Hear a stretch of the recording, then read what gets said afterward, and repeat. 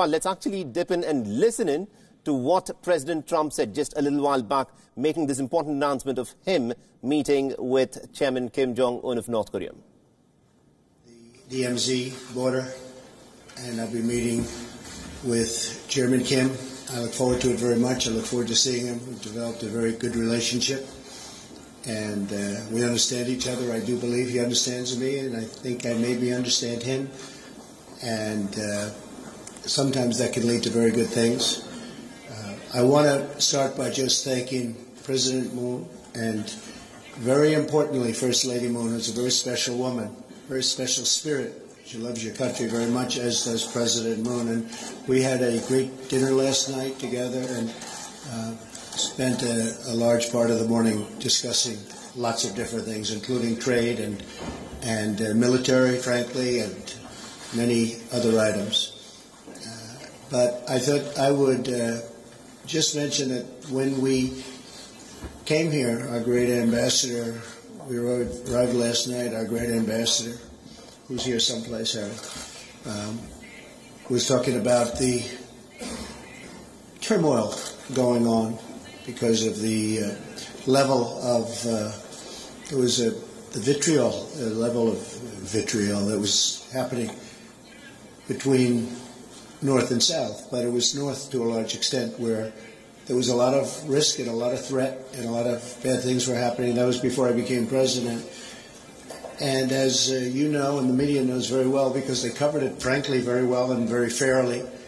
Uh, at the beginning, there was uh, a lot of anger between myself and Kim Jong Un, who, since something happened. There was a point at which it happened, and all of a sudden, get along.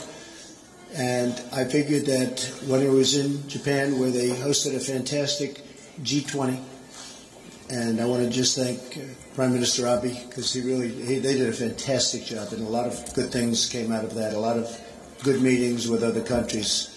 I can tell you from the standpoint of the United States. All right, so that was U.S. President Donald Trump there stating that he will be meeting with Kim Jong Un of North Korea in just some time from now. And Ramesh, if I can come back to you, this this is a very interesting kind of meet that, that has been in, in some ways announced pretty much at the last minute. Some have also described this as reality television style diplomacy. What do you make of that?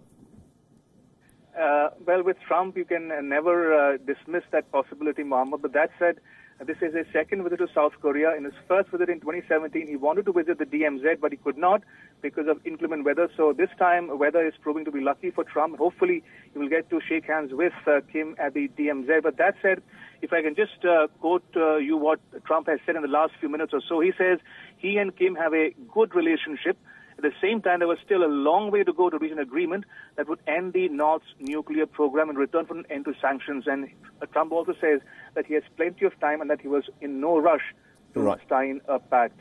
Absolutely, indeed. That, that, of course, it remains to be seen as to what comes of that handshake that we expect to happen at the demilitarized zone. Thank you very much indeed, Ramesh Ramachandran, for joining us over the phone and getting us all the inputs in terms of, of this very significant development. Remember, this was a visit that was announced by Donald Trump on, on one of the tweets that he had put out. It was in many ways not a lot of people expected that it will come on the heels of the G20 summit. He was coming back from Osaka where the G20 summit was held. He was, he's of course presently in Seoul and then he's expected to meet with the North Korean leader in, in just some time from now. We'll be getting you all the updates. A very significant visit. It is definitely a photo opportunity, but what will be the concrete outcome of President Trump meeting with Kim Jong un is something that remains to be seen.